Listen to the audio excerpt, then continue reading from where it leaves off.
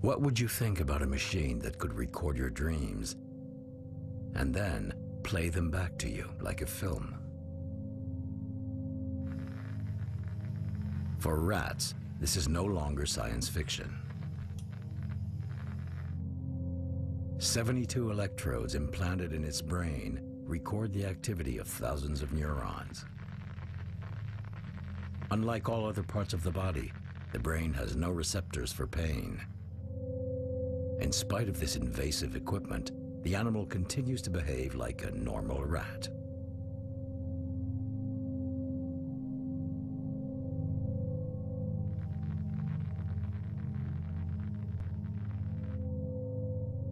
With these electrodes, we can now read its brain, at least to some extent.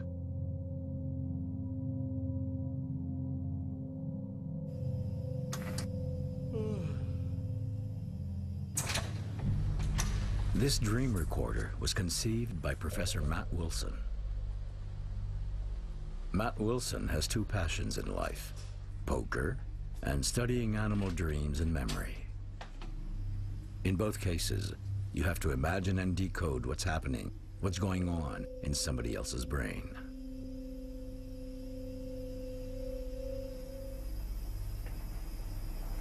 We can tell what the animal is thinking about, what is the brain, what kind of information is the brain processing at the moment. We are, we are eavesdropping on the conversations that are being carried out uh, amongst individual brain cells. The experiment is deliberately made very simple to isolate specific events in the rat's brain. The rat is placed on a circular track. Electrodes register its neuronal activity while it explores its new environment, particularly when it stops at a specific place for a few drops of chocolate milk.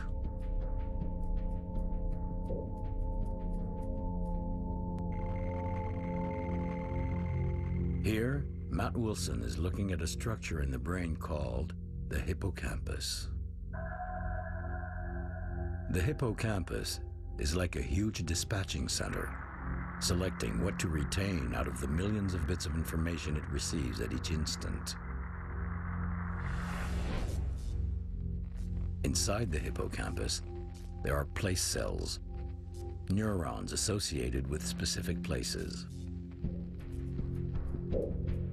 Using these place cells, the brain creates a kind of virtual map of the rat's environment.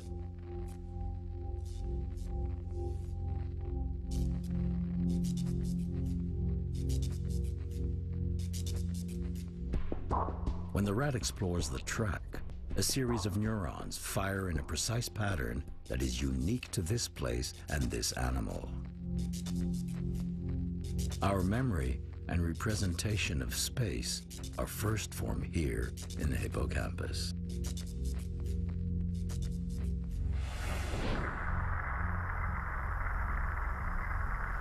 So that pattern really represents that animal's experience in that location of that particular room.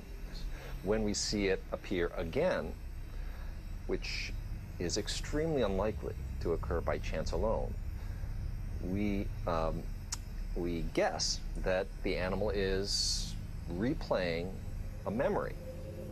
The rat replays these unique patterns during its dream cycles at the same speed and in the same order. But there's also this state where the animals are just are awake, but they're sitting quietly. They're not actively engaged in behavior. They're just uh, they're uh, they're uh, they're thinking about what they might do.